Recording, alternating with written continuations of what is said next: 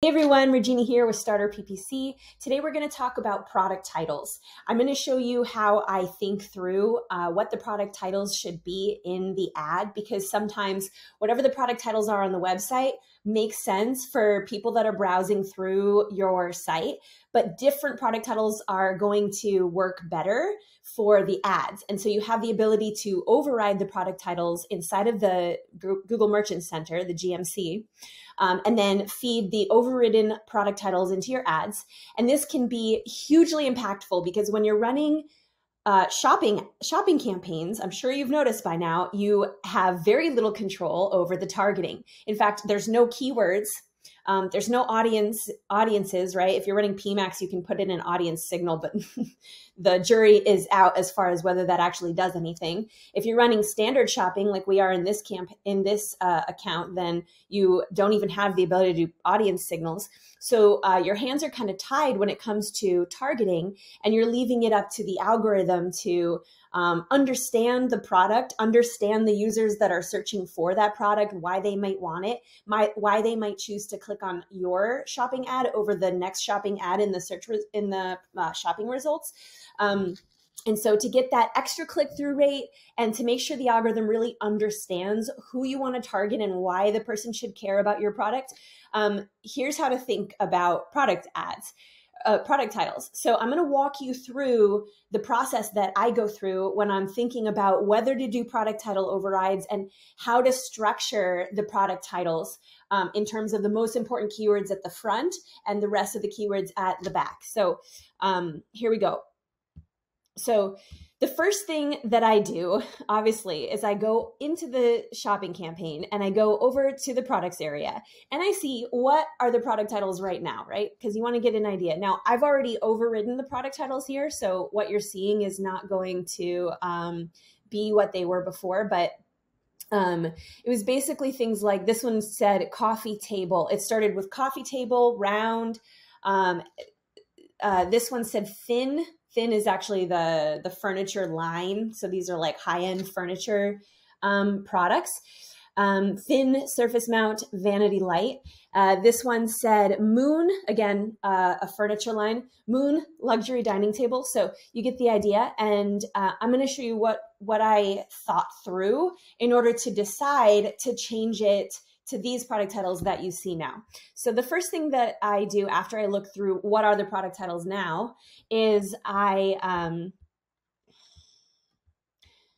uh, well, okay. I guess the first thing I would do is click onto the uh, one of the top products and view a preview of the ad because you can see it right here. This is what the ad's going to look like, right? And it's in its smallest, most compact form. This is the, I guess, worst case scenario of what the ad placement will be be seen um, like from the user. So uh, you can see that you don't have a lot of real estate, right? like a lot of real estate as far as the keywords are concerned um, maybe you if you're lucky you have four words that you can shove in there but usually it's more like three.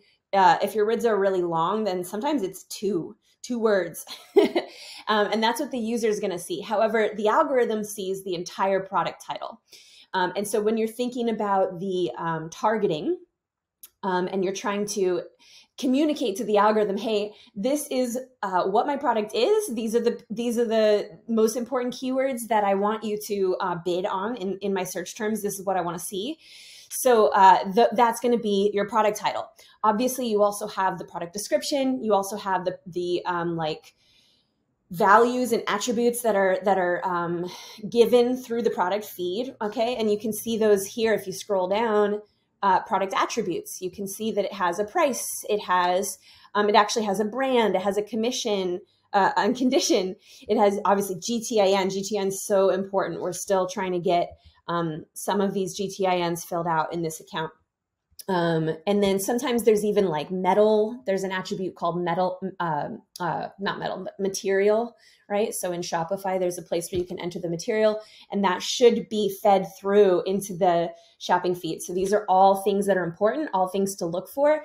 But I would think that the uh, the algorithm and the the end user, the title is going to be the most impactful thing by far. So it's the first thing I look for, descriptions and value attributes after after I override the titles maybe I will start looking at those.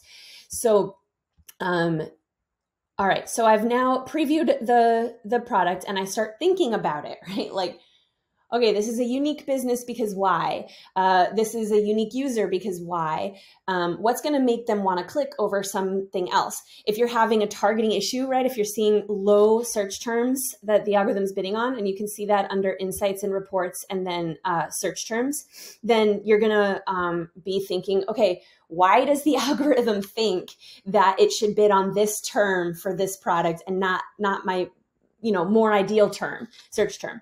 So um, just do some thought process maybe click through two or three of the top products that are spending the most. That's step one. Step two would be open a new tab in google and pretend that you are the end user and you're uh, searching for that product. What are you going to search for? Okay? So in this case um, let's say you want to buy a vanity light um, and you want it to be like very fancy. You're looking for a certain style. So our our ideal users in this case are people that are actually looking for the designer, right? Like they are furniture enthusiasts. They have the money to buy luxury uh, furniture, and they already have the designer in mind. That's our lowest hanging fruit. Those are the people that are going to convert the highest, and they're also the people that are going to click the the click the most.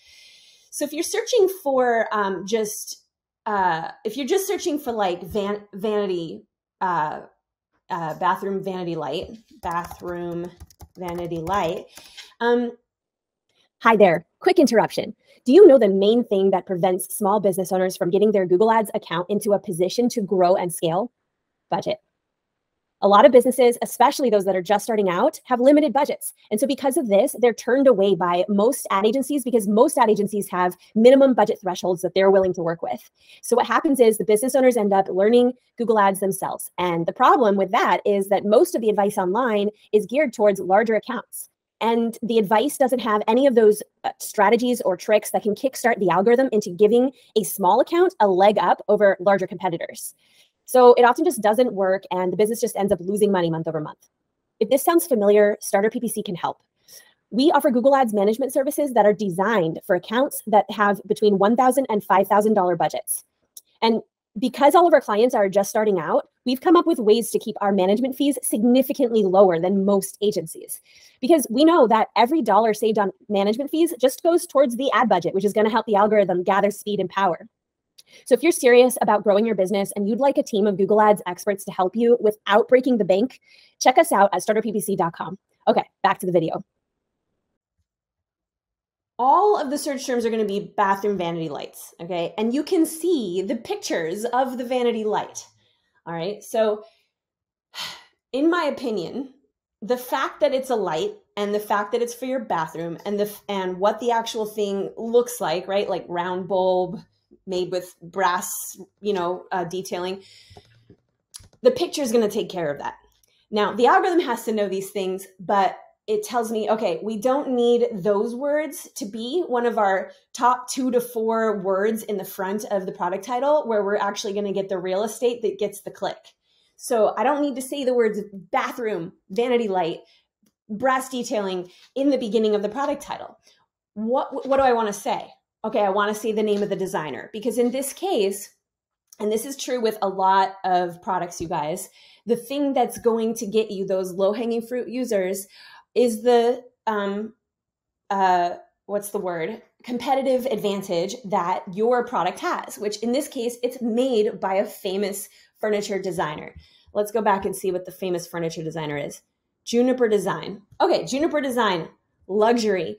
Um, so that's what we decided to put in the front here. So, you know, someone searching for Juniper um, bathroom vanity light gets these search result, results. Uh, this one says it's for the bathroom. I can see that. Um, this one says Lark. In fact, a lot of these say Lark. We're actually out of budget right now, which is why our ad isn't showing. I'm probably also not um, the target the target market to buy this. So the algorithm might just be choosing to not show me that ad and save the budget for someone else.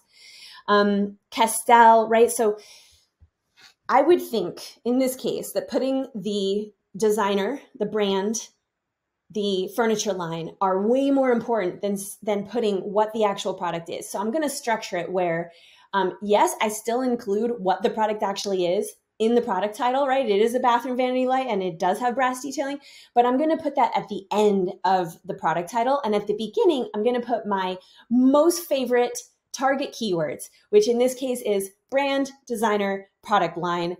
Um, and as well as the word luxury. Okay, we've decided that luxury is a very important keyword because it is the it is the reason why our bathroom light costs $570 whereas the vast majority of the bathroom lights that come up on the search results are just 100 bucks. Um, so it's a unique product and we're putting what makes it unique in the front.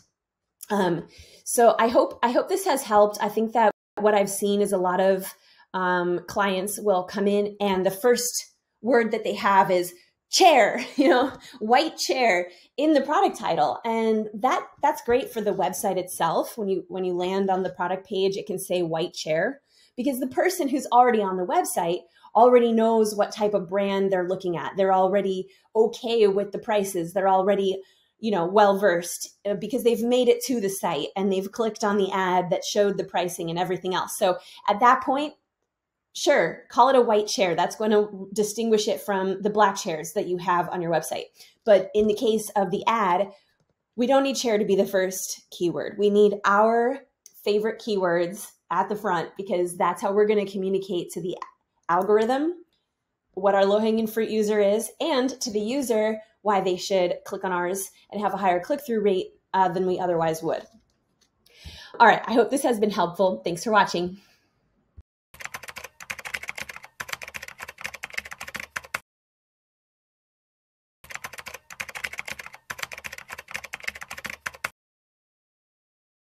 Hey everyone, Regina here with Starter PPC. Just wanted to hop on video and do a quick public service announcement to tell everybody that keyword management is not dead.